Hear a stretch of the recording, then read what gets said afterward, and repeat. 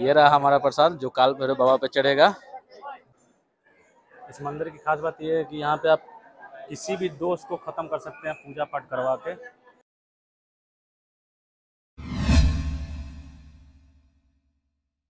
तो है guys welcome back to my channel अभी हम हैं महाकाल की नगरी उज्जैन शहर में। उज्जैन जंक्शन से आने के लिए आपको वहाँ से दो किलोमीटर मंदिर है। और आप मंदिर से दो किलोमीटर पीछे नदी है, सिपरा नदी। आपको वहाँ पे पहले स्नान करके फिर भगवान शिव को, महाकाल जी को जल चढ़ाना होगा। तो हम भी चलते हैं, पहले सिपरा नदी स्नान करने उस बाद फिर मंदिर चलेंगे। अब घाट पे आते हैं तो घाट पे ब्रश, ये भी करने की सुविधा उपलब्ध नहीं है पर साफ़ साफ़ लिखा हुआ है। इसलिए आप रास्ते में करके आए क्योंकि गंदगी फैलाना सख्त मना है यहाँ पे, घाट पे। घाट स्वच्छ है, साफ़ सुथरा भी है। थोड़ा पानी बढ़ा हुआ है पहले से। सिपरा नदी के दोनों साइड घाट है, आप इधर भी नहा सकते हैं और उस साइड भी नहा सकते हैं। नहाने के बाद जल लेके महाकाल बाबा पे अर्पित होगा। हम लोग हम हम लोग पहुँच चुके हैं स्नान करने के लिए। पहले रोज में नहाएँगे, उसके बाद हम नहाएँगे।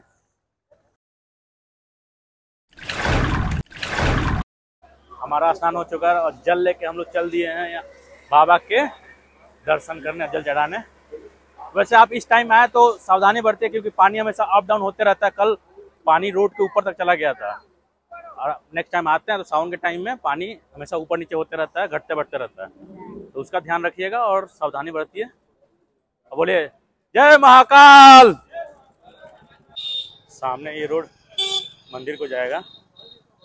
अभी टाइम हो रहा है दस। हम लोग का लेट हो चुका अभी। हम लोग जाने सीधे सामने मंदिर है।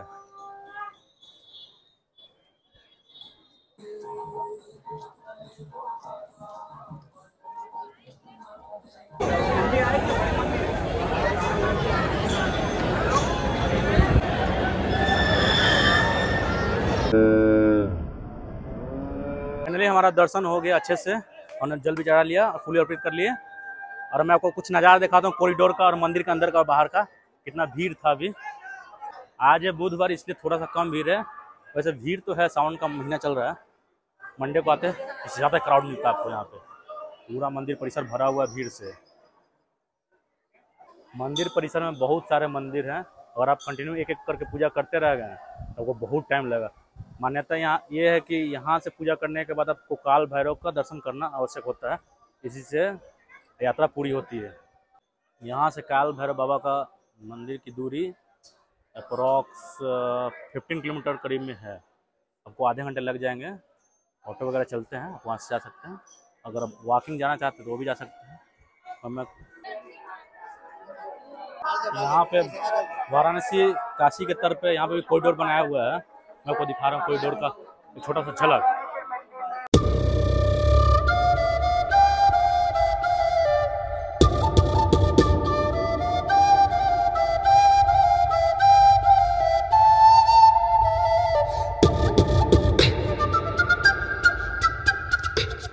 ये कॉरिडोर बहुत खूबसूरत है। यहाँ पे सारे देवी देवताओं के मूर्ति बने हुए हैं। बड़े बड़े विशाल विशाल स्टैचू टाइप की मूर्ति है और खूबसूरत भी है। अच्छा लगता है यहाँ पे देख के। शांति थोड़ा सा तो है, मज़ा आ गया। अभी कॉरिडोर अंडर कंस्ट्रक्शन है, और पीछे काम चल ही रहा है, ऐसे वहाँ पर वो ब्रिज बन रहा है। बस नदी को क्रॉस करने के लिए सिपरा नदी को, और ज़्यादा कुछ नहीं है, और कॉरिडोर लंबा है ही वैसे। मैं आपको दिखा रहा हूँ।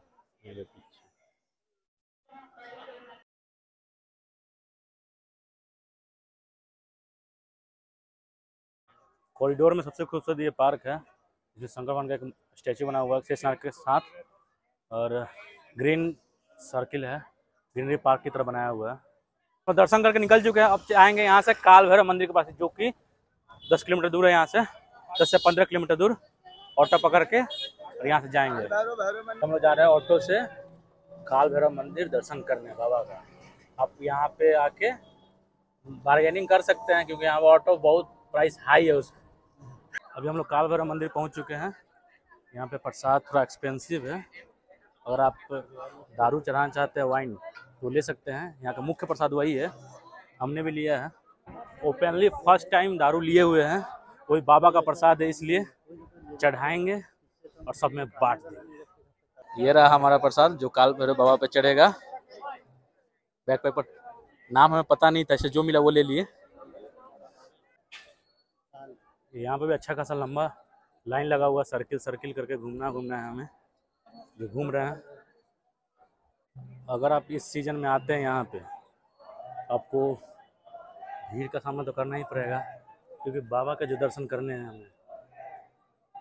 ये रहा काल भैरव बाबा का मंदिर। ये रहा बाबा का मंदिर, यही है प्रवेश द्वार। हम लोग भी लाइन में हैं। बोलो बाबा, काल भैरव की हम मंदिर परिसर के अंदर। बहुत ज़्यादा भीड़ लगा हुआ है। पीछे पूरा लाइन है। आगे भी लाइन है। परिसर के अंदर सबके हाथ में एक बोतल है और एक एक्स्ट्रा पानी का भी बोतल है। दोनों मिक्स करने के लिए। बाबा को चढ़ा के, पीने के लिए।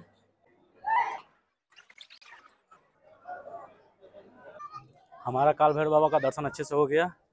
प्रसाद भी चढ़ा दिए। यहाँ की मान्यता ये है कि आप प्रसाद दारू पीते हैं तो पी जाइए नहीं तो किसी और में बांट दीजिए। हम लोग बांट देंगे। काल भैरव को दर्शन करने के बाद अब जाएँगे मंगलनाथ के दर्शन करने। मंगलनाथ शिवलिंग है शंकर भगवान का ही रूप है।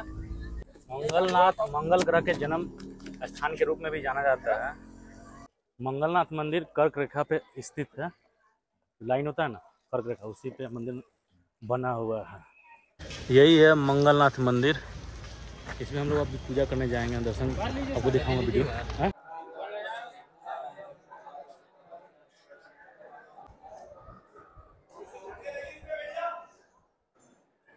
इस मंदिर की खास बात यह है कि यहाँ पे आप किसी भी दोस्त को ख़त्म कर सकते हैं पूजा पाठ करवा के। यहाँ पे फिक्स रेट बना हुआ है। ग्यारह सौ, इक्यावन से, इक्कीस सौ करके। मंगल दोष कोई भी दोष आप यहाँ पूजा करवा के ख़त्म कर सकते हैं। यहाँ पे हर मंगलवार को दही भात से पूजा होता है। तो यहाँ का विशेष प्रसाद है।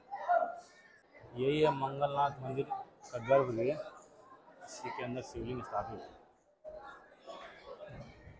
आधा घंटा में टाइम लगेगा दर्शन करने में। लंबा लाइन लगा हुआ है। और थर्ड फ्लोर का भी है। मंगलनाथ मंदिर, शिप्रा नदी किनारे बसा हुआ है। और आपको महाकालेश्वर मंदिर भी शिप्रा नदी के किनारे है। या काल भैरव मंदिर भी शिप्रा नदी के ही किनारे नदी चारों तरफ़ घुमा हुआ है गोल गोल करके सारे मंदिर को किनारे किनारे है। हाँ शिवम गुरु।